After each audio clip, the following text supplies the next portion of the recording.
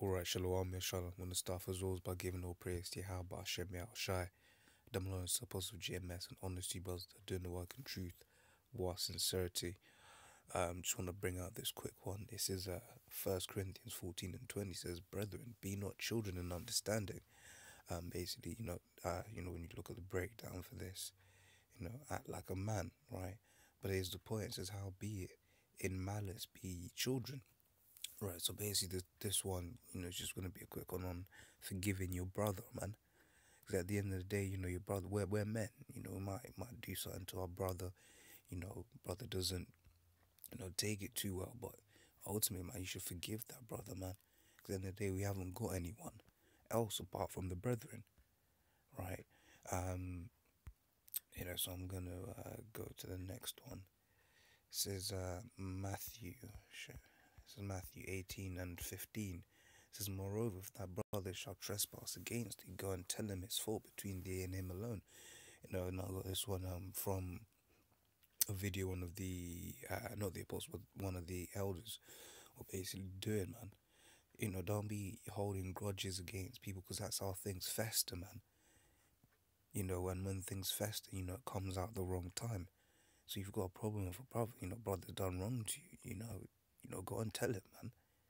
But ultimately, and this is the point, in verse 21 says, Then came Peter to him and said, Lord, how oft shall my brother sin against me, and I forgive him till seven times? Yahweh said unto him, I say not unto thee until seven times, but until seventy times seven. Basically, always forgive your brother, man. You know, and just to reiterate the point, we're all we have in this truth. You know, we're just one small unit. So there's no point, you know, holding grudges and not forgiving brothers, man. You know, when you read, um, in fact, go to it, um, Matthew the sixth chapter, shit. Matthew six. If I can find it real quick. Right, uh,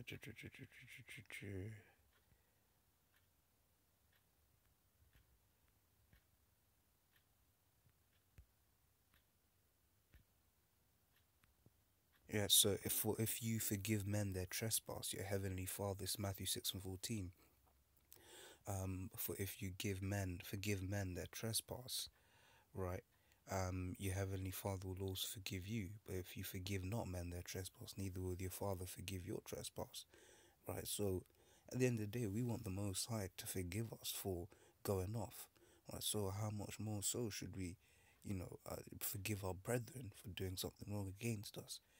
You know, so before I start babbling on, you know, I'm just going to say, oh, praise be Tiaba Shem Shai, uh, which in the Hebrew will be Kal Halalium Yahaba Shem Shai um, Double Honest Apostle GMS and Honesty Brothers are doing the work in truth or sincerity.